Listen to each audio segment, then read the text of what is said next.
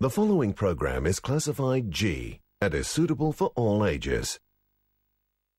The following program is classified PG. It is not suitable for viewing by persons under 15 years of age without guidance from a parent or guardian.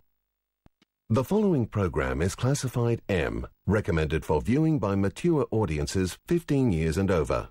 It contains violence, coarse language, drug use and or drug references, and mature themes. Use of the parental control system is advised.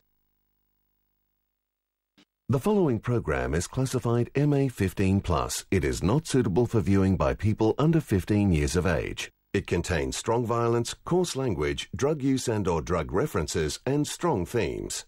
Use of the parental control system is advised.